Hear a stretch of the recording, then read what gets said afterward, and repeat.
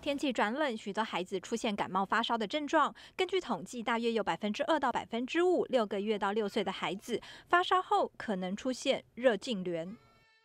我自己以前小时候是有过，对，所以就也是会担心他，就特别注意一下。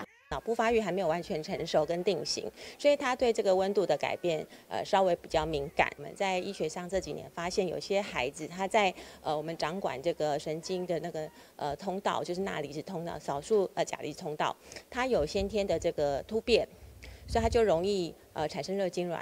除了是基因与发育因素导致，家长也会担心孩子是否日后健康受到影响。